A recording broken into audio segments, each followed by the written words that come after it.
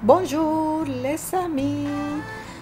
Ya estamos aquí en París, llegamos ayer y aquí ya listos para nuestra primera presentación. Ok chicos, síganme.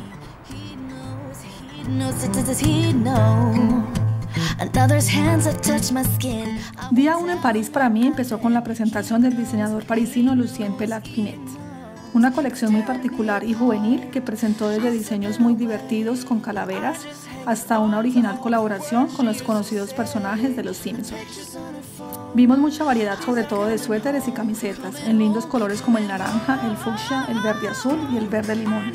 De esta colección me encantó la exclusividad de sus diseños que podría llamarlos comfy chic, además de la calidad de sus materiales y sus acabados.